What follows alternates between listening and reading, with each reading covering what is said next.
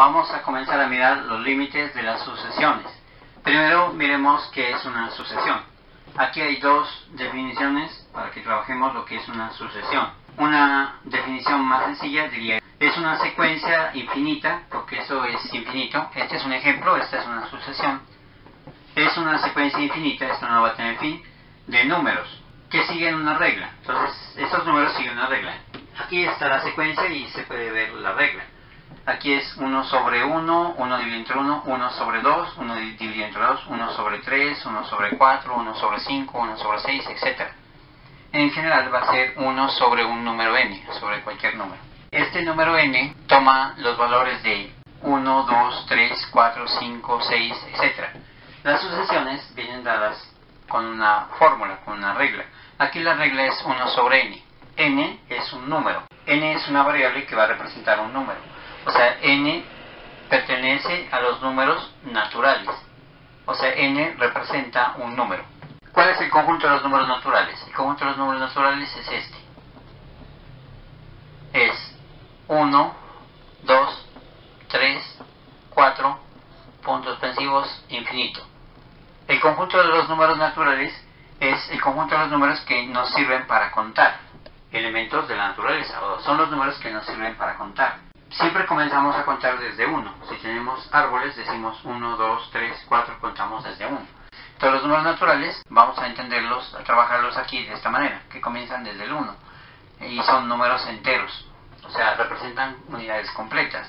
Un árbol, dos árboles, tres árboles, cuatro árboles, o sea, unidades completas. Y son positivos, o sea, un árbol, dos árboles, tres árboles, o sea, no debo árboles, o sea, no hay unidades negativas. Los números naturales serían los números enteros positivos, a partir del 1. Serían los números que nos sirven para contar. Se llaman números naturales porque son los que primero el hombre naturalmente o espontáneamente trabaja, descubre o inventa. O sea, los números naturales son los primeros números con los que espontáneamente o naturalmente el hombre va a trabajar o va a descubrir o, o va a usar un niño pequeño, cuando empieza a crecer, empieza a caminar, a hablar y empieza a contar. O sea, lo primero que el niño va a hacer es aprender a contar.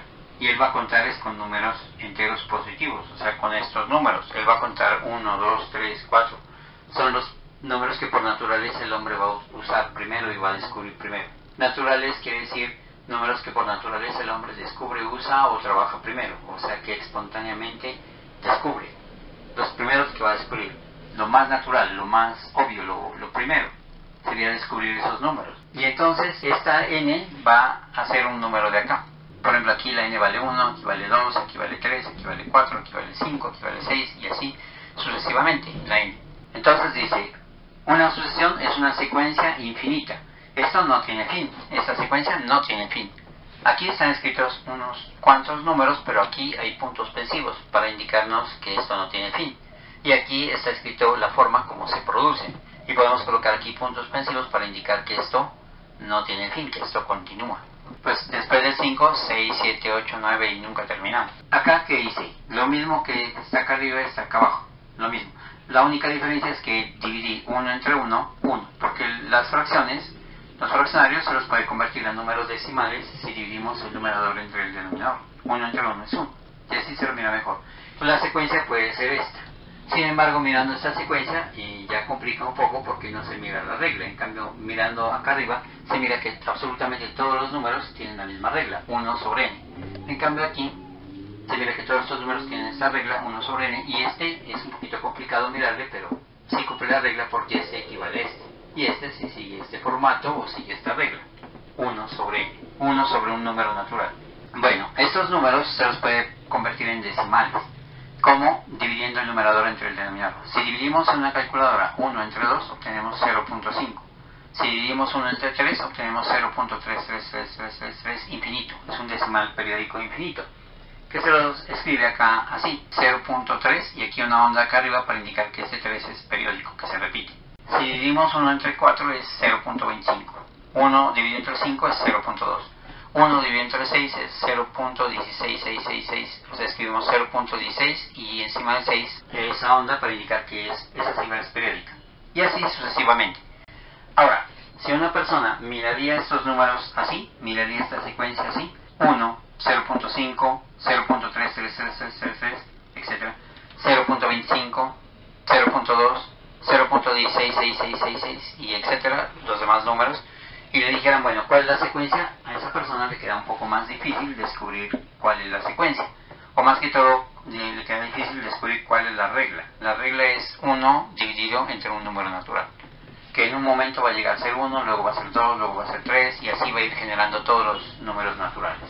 También una sucesión la podemos ver como un conjunto de infinitos elementos, pues que siguen una secuencia. Entonces una sucesión es una secuencia infinita de números. Aquí tenemos una secuencia infinita de números. ¿Qué sigue una regla? Claro, aquí la regla que sigue es 1 dividirse entre un número natural, que a veces vale 1, luego vale 2, luego vale 3, luego vale 4, que toma valores en los números naturales, es una variable. Sigue una regla, esa es la regla. Bueno, la segunda definición ahora la miramos. Entonces, una sucesión también es un conjunto infinito de números que pues siguen una regla. Ese conjunto infinito lo podemos representar así, como solamente el elemento genérico o el elemento enésimo, o esto se llama el término enésimo. A estos números que forman la sucesión le llamamos términos. Y al término que incluye la fórmula con la que se producen todos, o la regla, le llamamos término general o término enésimo, y se lo escribe así con n. Entonces este sería el término enésimo que nos dice cómo es la secuencia. También se lo puede escribir la asociación así como un conjunto y aquí solamente el término enésimo, o sea el término general que los produce a todos. También podemos escribir la asociación como A n igual y la fórmula que genera todos los números. Esto lo vamos a ir explicando. En esta secuencia de números, ya sea mirándolas como fraccionarios o en forma equivalente mirándolos como decimales, sabiendo que la n toma los valores de 1, 2, 3, 4, 5, 6, etcétera, hacia el infinito.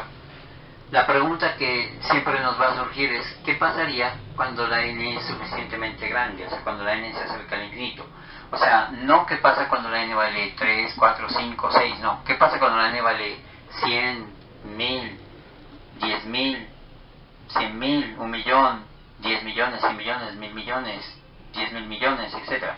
¿Qué pasa cuando esta n es suficientemente grande? ¿Qué pasa con el resultado, con el valor del término? ¿Cuánto vale ese término? Entonces la pregunta que siempre nos haríamos es, proyectando eso hacia el infinito, hacia el futuro, hacia bien el futuro, hacia el infinito, ¿qué término se obtendría?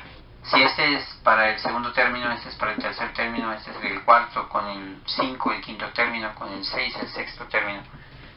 Cuando la n vale 1, aquí, obtenemos el primer término. Cuando la n vale 2, aquí reemplazamos la n por 2, obtenemos el segundo término. Cuando la n vale 3, el tercer término. Cuando la n vale 4, el cuarto término. Cuando la n vale 5, el quinto término. Y así al infinito. La pregunta sería, ¿qué obtendremos cuando la n tome un valor suficientemente grande? Como proyectarnos hacia el futuro, hacia el infinito. Y eso es ya calcular un límite. Por eso decimos límite cuando n tiene el infinito de una sucesión. Ya lo vamos a mirar. Si les gustó el video, pues denle me gusta. Hay más de 100 videos de matemáticas subidos al canal. Por eso los invito a que compartan este video para que otras personas puedan acceder al canal. Aquí abajo, en la descripción del video, les dejo dos enlaces. Uno de ellos los lleva a un blog en donde están organizados todos los videos que hasta el momento he subido a YouTube. Y el otro enlace los lleva al canal. También los invito a que se suscriban al canal dando clic en este botón de acá y luego dan clic en el botoncito rojo que dice suscribirse.